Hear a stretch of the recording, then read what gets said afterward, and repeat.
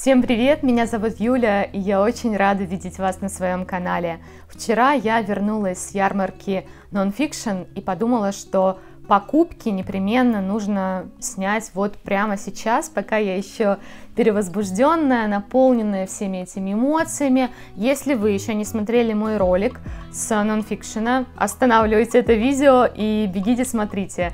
Потом возвращайтесь, я буду показывать вам свои покупки. Как я уже говорила, в этот раз я постаралась быть ответственным покупателем, заранее составила список из книг, которые мне нужны, их получилось 8 штук. В итоге я принесла барабанная дробь 17. Наверное, это рекорд. Я вообще не представляю, как я их дотащила. В следующий раз э, либо буду нанимать носильщика в виде мужа, либо, правда, куплю себе какую-то тележку, чтобы было удобно. Моя спина, моя поясница, мои ноги мне спасибо не сказали. Заканчиваем с прелюдиями, давайте смотреть покупки. Издательство «Миф. Русская фольклорная демонология» Владимира Рябова. Это книга из серии «Страшно интересная Россия», которую я собираю у Мифа. У меня есть уже две книги «Интимная Русь» и «Зелье варенье». «Зелье варенье» я принесла с э, прошлой ярмарки Nonfiction. Хотела там же купить и эту книгу, но пока я стояла в очереди, последний экземпляр кто-то увел. В этот раз я сразу же, как только зашла в гостиный двор, побежала к стенду Мифа, чтобы успеть э, купить э, вот эту книгу красивейшее издание, ничего не могу сказать. Миф, конечно, умеет э, печатать книги, которые хочется сразу себе на полке. О чем эта книга, наверное, пояснять не стоит. Леши, русалки, водяные, покойники, домовые, кто они такие, откуда они берутся, нужно ли их бояться, как от них защищаться, все в этой книге. А еще мне очень нравится, конечно, список литературы. Очень много источников собрал здесь автор, поэтому если мне захочется погрузиться в какую-то тему поглубже, я точно буду знать, где искать об этом информацию. Первая книга издательства «Дом истории» на моих полках «Красные часы» Лени Зумас в переводе Дарьи Кальницкой. Я, если честно, на стенде колебалась, потому что мне была интересна книга «Лес», это был какой-то необычный хоррор, и вот эта история в итоге все-таки остановилась на ней. Здесь мы перемещаемся в такую антиутопичную Америку, где запретили аборты, вот прямо совсем-совсем, на любом сроке. И нас ждут четыре героини, очень разные. Ро – одинокая школьная учительница. Она пишет биографию полярной исследовательницы и отчаянно мечтает стать матерью. Сьюзен – мать и домохозяйка, которая находится на грани нервного срыва. Мэтти – талантливая ученица, чьи планы на будущее нарушает неожиданная беременность. И Джин – знахарка, лесная жительница, которая сводит вместе все эти женские судьбы, оказавшись в самом центре современной охоты на ведьм. Меня соблазнили этой книгой, когда сказали, что она подойдет а, всем, кто любит рассказ служанки. Мне очень нравится этот сериал, я, правда, так и не досмотрела его до конца, но не потому, что он мне не понравился, просто в какой-то момент, видимо, переключилась на что-то другое, надо бы заново пересмотреть. Я читала, конечно, первоисточник, книгу Маргарет Этвуд, уже после того, как посмотрела первый сезон, и книга мне даже показалась немножко слабее, но тем не менее мне интересна вся эта тематика, поэтому а, я рада, что остановила свой выбор на красных часах. Дальше вас ждут сразу 5 книг от издательства Фантом Пресс. их 5 не потому, что за это количество давали шоперы, делали скидку, хотя это, конечно, тоже очень приятно. Их 5, потому что я э, очень люблю это издательство, мне очень нравится практически все, что они выпускают. И там была, наверное, самая желанная книга э, на все ярмарки. Я шла, в общем-то, в гостиный двор именно за ней. Это новый роман Абрахама Вергезе «Завет воды» в переводе Марии Александровой. Я не побоюсь этих громких слов, но его первое произведение «Рассечение Стоуна», которое я читала в 2022 году, это, наверное, не просто одна из лучших книг того года, это правда одна из лучших книг, которые я читала за всю свою жизнь. Вот я прям правда не побоюсь э, этого громкого высказывания. Поэтому, конечно, я очень ждала, что Абрахам Вергеза еще что-нибудь напишет и нас чем-нибудь удивит. Аннотацию я даже не буду пытаться воспроизвести. Это снова Индия, это снова врачебная тематика, это снова семейная сага. Я даже еще не проверяла, сколько здесь страниц.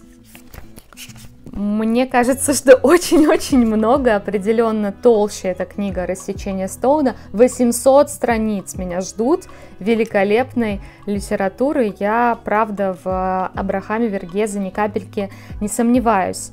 Давайте немножко зачитаю все-таки, что здесь происходит. Приключения, мечты, много красок, звуков, света, человеческих историй, вплетенных в историю Индии. Все начинается в 1900 году, а заканчивается в конце 1970-х, хотя на самом деле совсем не заканчивается. История нескольких поколений семьи индийских христиан из Кералы удивительным образом связанная с историей врача-шотландца родом из Глазго, которого судьба занесла в Индию. Но все же роман Абрахама Вергезе – это не просто семейная сага в экзотических декорациях. Абсолютно согласна. Не знаю пока, когда буду читать.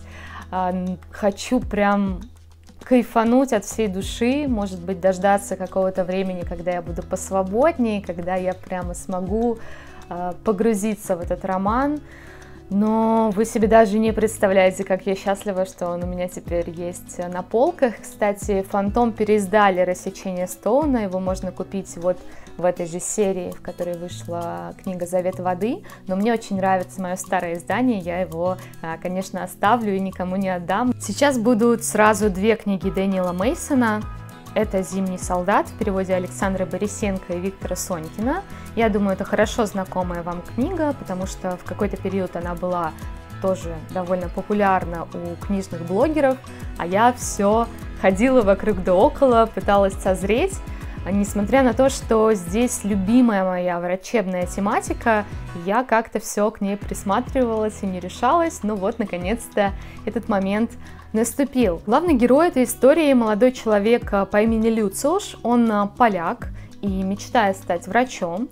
В разгар его учебы начинается война, и Люциуш, абсолютно очарованный рассказами о подвигах военных хирургов, добровольно идет в армию, и ему кажется, что вот сейчас его направят в какой-то военный госпиталь, как он там будет совершать всякие спасения, как все будет прекрасно. В итоге вместо госпиталя у него есть какая-то импровизированная больница в полуразрушенной церкви, вокруг гуляет тиф, из персонала у него осталась одна сестра-монахиня, какая-то очень странная женщина, все остальные разбежались, и здесь происходит столкновение Люциуша с реальностью. Как он будет из этого выпутываться, что он будет делать, собственно, узнаем а, в этом романе.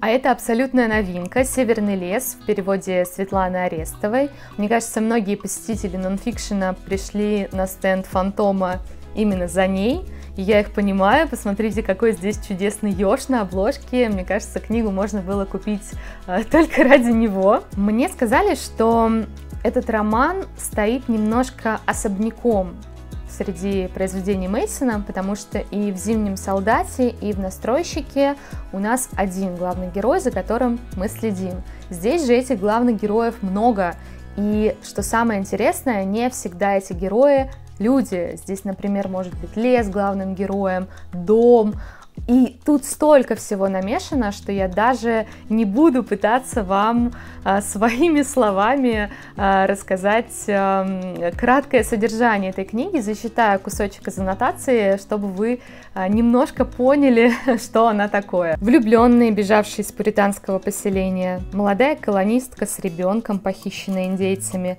бывший солдат, посвятивший себя выращиванию яблонь, сестры-близнецы, неразрывно связанные любовью и ревностью, художник, оберегающий тайну, заядлый охотник, чьей жене мерещатся голоса, или все-таки не мерещится, и многие-многие другие. Когда одна история заканчивается, начинается другая. Как сказал э, представитель издательства «Фантом Пресс» Виталий, э, мой любимый вообще спикер на любой ярмарке, это очень эстетский текст, поэтому у меня большая надежда на какую-то красоту повествования, в которую можно тоже погрузиться. Начну, конечно, «Зимнего солдата», потому что, ну, все-таки надо как-то познакомиться с автором, э, начать э, с чего-то попроще, плюс, опять же, повторюсь, меня очень манит эта вся врачебная история, а потом уже, конечно, перейду к «Северному лесу». Интересная деталь, на книгах э, Мейсона вот блерп это, кажется, называется, да, когда какие-то там авторы или издания а, оставляют свой отзыв. А, здесь отзыв Абрахама Вергезе, а на книге Вергезе отзыв Дэниела Мейсона. Я не знаю, дружат ли писатели в жизни, но кажется, что да. Амос Ос, повесть о любви и тьме, перевод с Виктора Радуцкого. Оза уже называют э, классиком израильской литературы. Я увидела эту книгу у Ани Власовой. Она на бусте очень здорово о ней рассказывала. Это, наверное, самая личная книга писателя, потому что здесь много всяких э, автобиографичных событий. Он писал, по сути, ее о себе, о своей жизни. И я, когда услышала этот отзыв, э, решила обратиться в сторону его художественных произведений, э, приглядела себе Иуду, но, опять же, мой любимый Виталий отговорил меня от этой идеи, сказал, что все-таки стоит начинать э, именно с этой книги. Это история взросления мальчика, который вырос в истерзанном войной Иерусалиме в маленькой квартирке, забитой книгами на 12 языках, и которого окружали 12 родственников.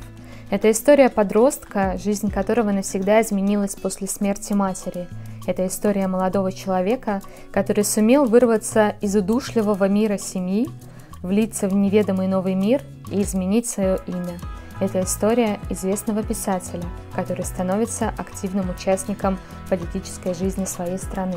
Мне кажется, что когда я буду читать эту книгу, мне волей-неволей придется много гуглить, будет много всего непонятного, неизвестного для меня, и это тоже интересный опыт, потому что, знаете, есть такие легкие книги, вроде бы все в них хорошо, но они так пролетают мимо тебя незаметно, а есть а, вот такая литература, а, которая побуждает тебя открывать что-то новое для себя, получать какие-то новые знания, и я за это такие книги, конечно, очень люблю и ценю. Индонезийский писатель Эка Курниаван «Красота – это горе», перевод Марины Извековой. Да, книга абсолютно не новая, наверняка вы ее уже у многих видели. Я, например, запомнила отзыв об этом романе у Саши с канала Tales and Tales. Мне кажется, это вообще было одно из первых видео на ее канале, где она рассказывала про эту книгу. Обложка, посмотрите, какая шикарнейшая, можно очень долго ее разглядывать. Я наконец-то созрела ее купить. Такая она, конечно, странненькая. Я, когда вчера мужу хвасталась своим уловом и пыталась рассказать, о чем эта книга, он, конечно, на меня смотрел очень косо, а, потому что в самом начале этого романа проститутка, уже давно умершая и пролежавшая в могиле 21 год, а вдруг в какой-то момент встает из этой могилы и идет домой. У нее четыре дочери, три из которых красавицы, похожие на мать, и одна, конечно, какая-то очень уродливая, причем зовут ее э, Красота. А, мне кажется, больше ничего понятного я об этой книге рассказать не могу. В аннотации сказано, что это удивительный синтез истории, мифов, сатиры, семейной саги, романтических приключений и магического реализма. Жизнь прекрасной Деви Аю и ее четырех дочерей – это череда ужасающих, невероятных, чувственных, любовных, безумных и трогательных эпизодов, которые складываются в одну большую историю, наполненную множеством смыслов и уровней. Говорят, что жесткая книга, много там всего такого, после чего хочется захлопнуть ее сразу и прям подышать, попить водички. А, меня это, в общем-то, не пугает. Будем знакомиться. Рада, что успела ее купить, потому что тираж заканчивается. Два чудесных подарка от главного редактора издательства «Альпина Проза» Татьяны Соловьевой. Огромное вам спасибо еще раз за это. Две очень наверное, и похожие, и не похожие книги. А сначала я расскажу про Виланда, писательницы Оксаны Кирилловой. Я про него услышала еще на прошлой ярмарке. Я подошла к стенду Альпины, и там Ася Шевченко а, кому-то рассказывала об этом романе, и мне так вроде бы понравилось, но я что-то побоялась ее брать. Но сейчас, когда шла в гостиный двор, почему-то подумала, что вот я теперь готова, время пришло. А, собственно, сейчас вы поймете, почему она производит такое неоднозначное впечатление, ну, потому что тема сложная. Главный герой Виланд немецкий школьник, который устраивается на работу в Дахау. Это молодой человек, который очень верит в идеи национал-социализма, очень верит и Гитлеру, и в Гитлера. Но когда он начинает работать в Дахау, он э, постепенно понимает, что не все так однозначно. И не все так правдиво в том, что говорит Гитлер, но тем не менее он э, все еще полон энтузиазма, полон решимости, готов поддерживать этот режим. И это Первая временная линия. Вторая с тем же героем, а, с тем же Виландом, только ему уже 80 лет, он находится в доме престарелых, лежит там на кровати, и у него еврейская сиделка, которой он рассказывает о своей жизни и пытается вообще разобраться, в какой момент он свернул не туда, что он сделал не так. Очень интересно, раскается ли он в конце этой истории. Вообще, это трилогия, но говорят, что Виланд э, совершенно законченный роман, то есть э, если вам там не захочется продолжать, достаточно прочитать э, одну эту книгу. Я была на дискуссии на тематику «Утраченные иллюзии», где была, собственно, писательница Оксана Кириллова. Мне было ужасно любопытно послушать, как она работала над этим произведением, сколько источников она перелопатила. Оксана еще и журналист по профессии, работала спортивным журналистом. Мне тоже было это очень приятно. Мы с ней, в общем-то, а, почти коллеги, хотя ни она, ни я уже этим не занимаемся.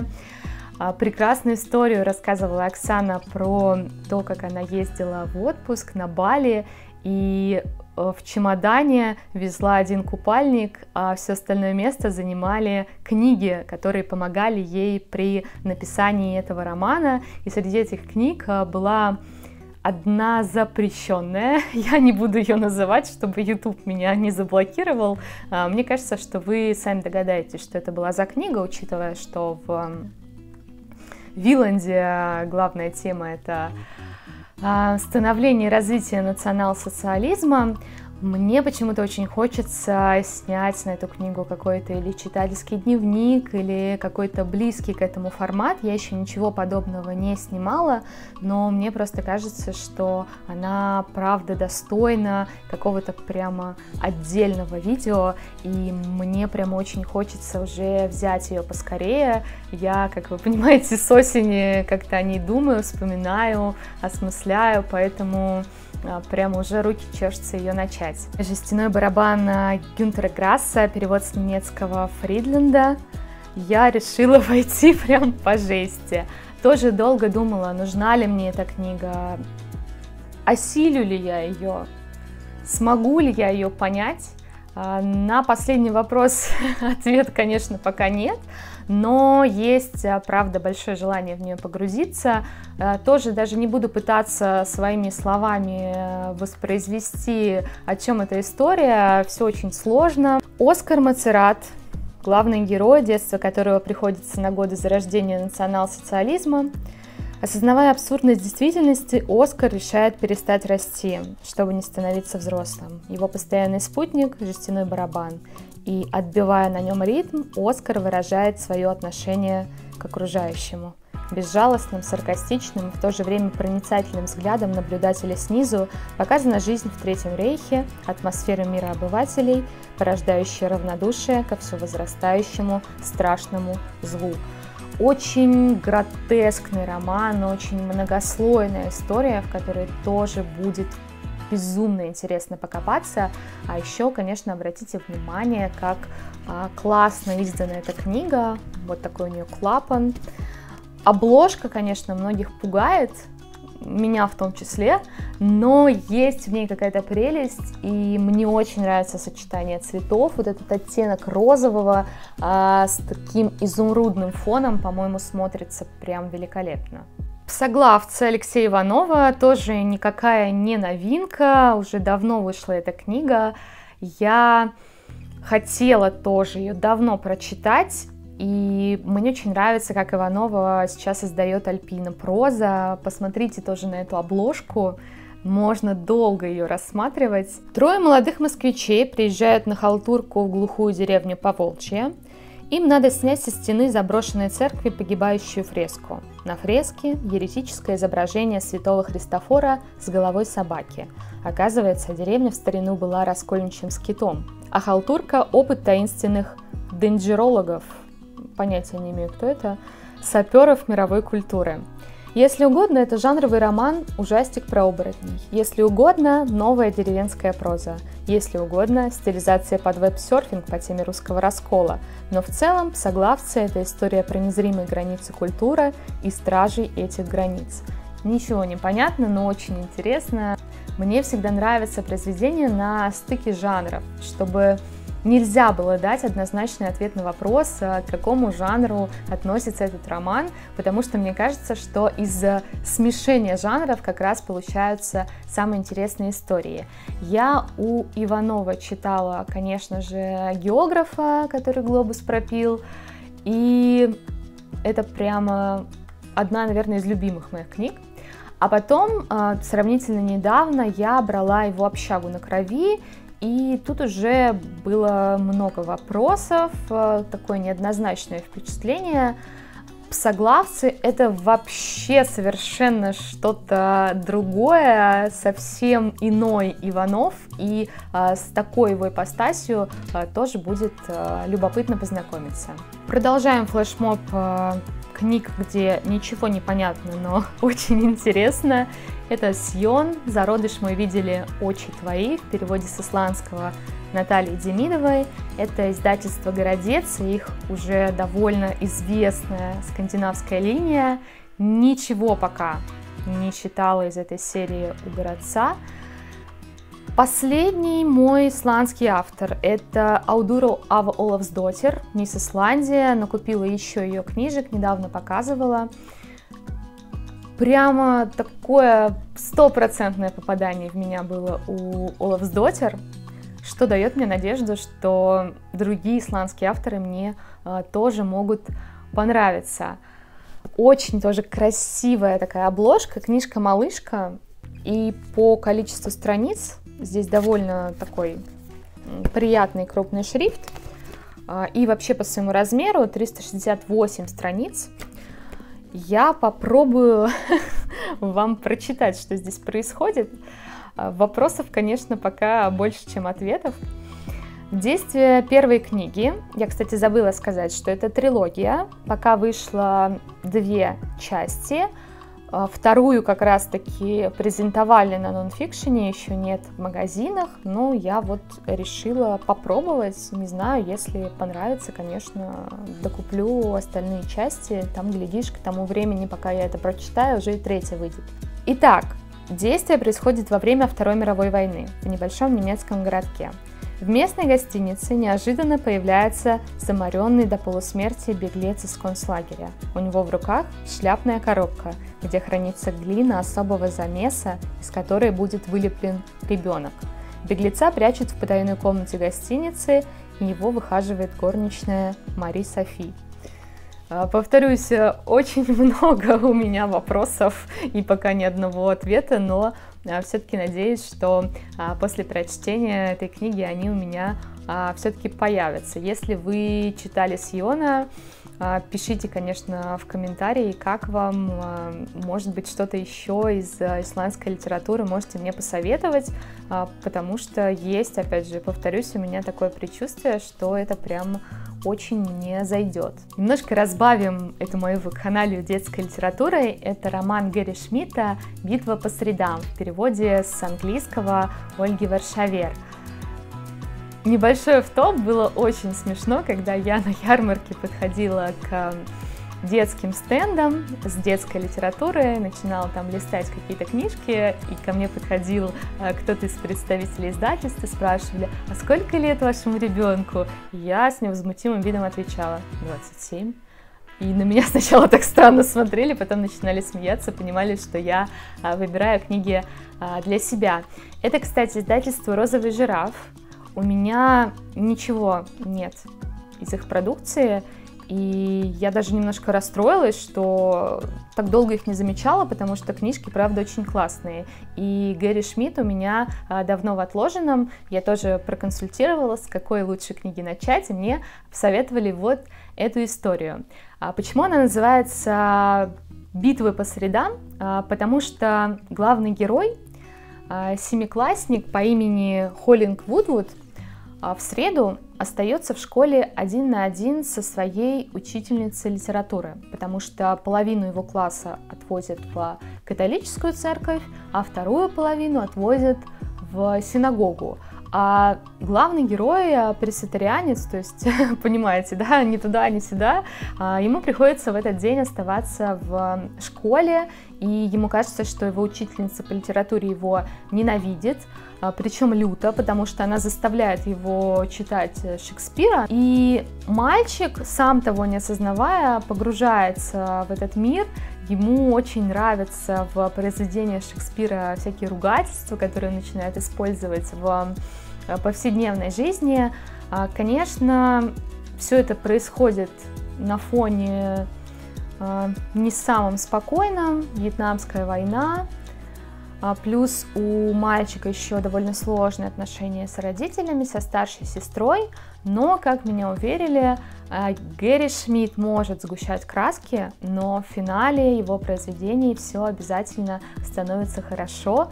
А, для меня важно иметь такие книги на полках, потому что в какой-то момент нестабильности всегда их можно достать, прочитать и поверить в то, что чудеса все-таки случаются, и всегда в любой ситуации можно э, все-таки рассчитывать на какой-то позитивный финал. Ген Рафаила Кати Качур, издательство «Эксмо». Вы, наверное, помните, как я в начале года расхваливала ее любимчика эпохи. Это официально будет одна из лучших книг этого моего читательского года, поэтому, когда я узнала, что этой писательницы выходит новый роман, а, я застыла в ожидании, стала думать просто, куда мне нести деньги, где мне его взять. А, принесла его с нонфикшена. Обратите внимание на обложку.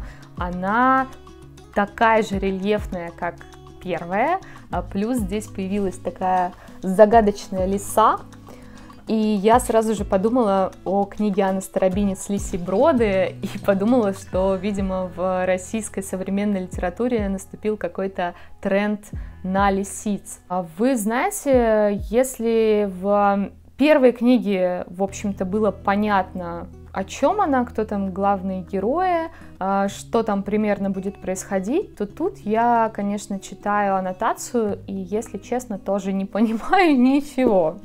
Он командир по должности, она по жизни. Он совершает подвиги, она убийство. Они одиноки, непримиримы и вынуждены жить под одной крышей. Генерал полиции в отставке и его теща, сельская учительница литературы. В маленьком деревенском домике на Волге Анатолий Батутовна ежедневно ведут кровопролитные бои. Еще у них там появляется какой-то зоолог, э, который будет изучать, э, собственно, лисиц, которые мы видим на обложке. У них там есть какой-то э, непонятный, неизвестный ген, который мутирует. А главные герои, вот этот генерал и сельская учительница литературы, его теща, в конце концов, объединяются против зэка по кличке Рафаил я вот все это произношу и думаю, господи, что нас ждет вообще в этой книге? Но если она будет написана таким же шикарным языком, а, я все прощу Кате Кочур, потому что самые позитивные, конечно, впечатления у меня от любимчика эпохи остались. Надеюсь, эта книга а, тоже меня не разочарует. Издательство Елены Шубиной, Анна Матвеева «Картинные девушки», я рассказывала про эту книгу в своем телеграм-канале. Если вы еще на него не подписаны, самое время это сделать, потому что я наконец-то начала его активно вести. Там появляются какие-то рубрики, интересные факты. В общем, я очень стараюсь э, делать так, чтобы всем там было максимально комфортно и интересно. Так вот, я писала про эту книгу, и так мне было любопытно, что я все-таки ее решила даже купить. Это истории мус, натурщиц, э, тех девушек и женщин, которые позировали великим художникам. И здесь есть э, прекрасное стихотворение Роберта Рождественского, которое предваряет, собственно, исследование Анны Матвеевой. А, я очень люблю Рождественского, но, если честно, вообще никогда не встречала это стихотворение и э, очень удивилась, как оно прошло мимо меня. Кем они были в жизни? Величественные Венеры, надменные Афродиты? Кем в жизни были они? Раскачиваясь, размахиваясь, колокола звенели, над городскими воротами бессонно горели огни, натурщицы приходили в нетопленные коморки, натурщицы приходили, застенчивые чисты, и превращалась одежда в холодный ничей комочек, и в комнате становилось теплее от ноготы. Колокола звенели. Все в этом мире тленно требовали «Не кощунствуй, одумайся, отрекись», но целую армию красок художник гнал наступление, и по холсту, как по бубну, грозно стучала кисть. Удар, и рыхлый монашек оглядывается в смятении. Удар, и врывается паника, святейшее торжество, стекла дрожат в соборе. Удар, и это смертельно для господина Бога и родственников его. Колокола звенели, сухо мороз пощелкивал, на башне, вздыбленной в небо, стражник седой дрожал. И хохотал художник, и раздавал пощечины ханжам, живущим напротив, и всем грядущим ханжам. Среди откровенного холода краски цвели на грунте, дул торжественный ветер, в окна, как в паруса. На темном холсте, как на дереве, зрели теплые груди, мягко светились бедра, посмеивались глаза. И раздвигалась комната, и исчезали подрамники. Величественная Афродита в небрежной позе плыла, а натурщицам было холодно. Натурщицы тихо вздрагивали, натурщицы были живыми и очень хотели тепла. Они одевались медленно, шли к дверям и упорно в тоненькие накидки не попадали плечом, и долго молились в церкви, и очень боялись Бога, а были уже бессмертными. И Бог здесь был ни при чем. Я не знаю, как у Анны Матвеевой появилась идея написать эту книгу, но мне хочется верить, что она появилась именно после прочтения этого стихотворения.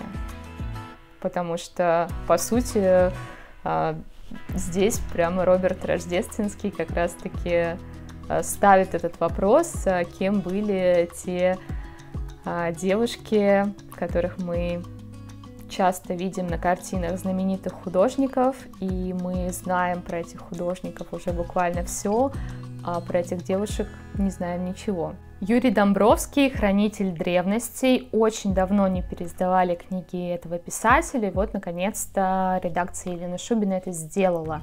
Роман был закончен в 1964 году. Представляете, очень давно.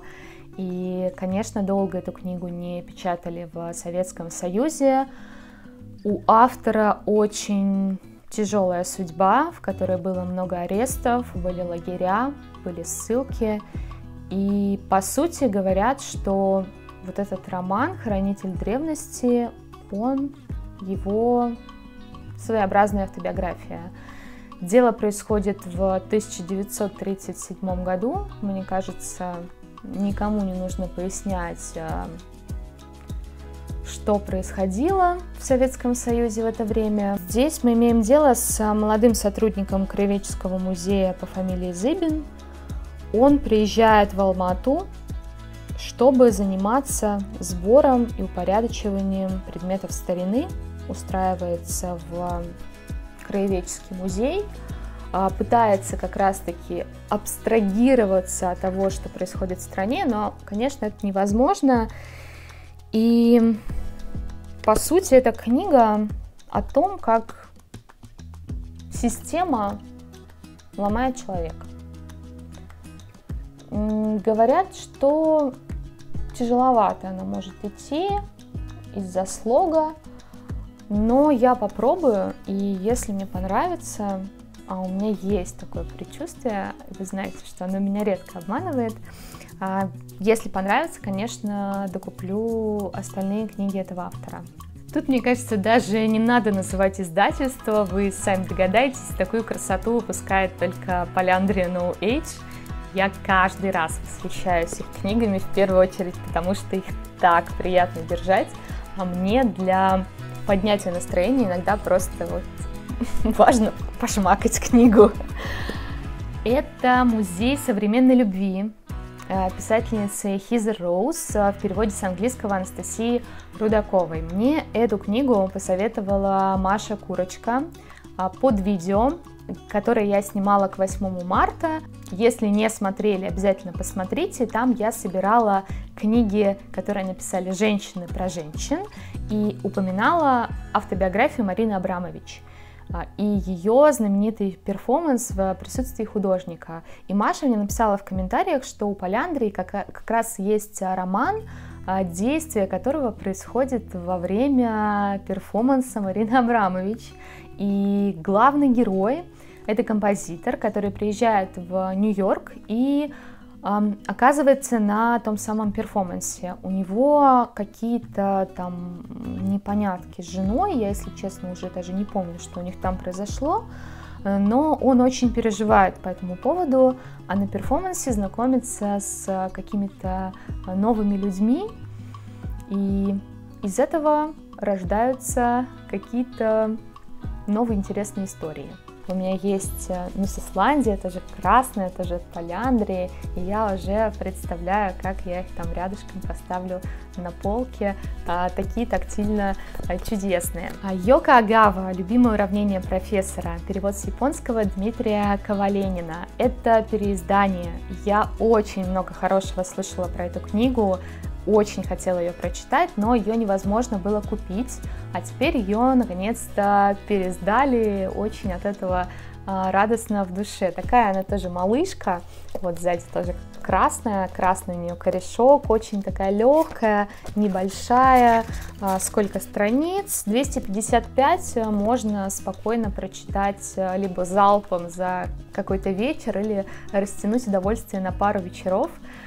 Очень добрая, очень теплая книга, а, где главный герой это профессор математики, у которого из-за травмы головы теперь проблемы с памятью.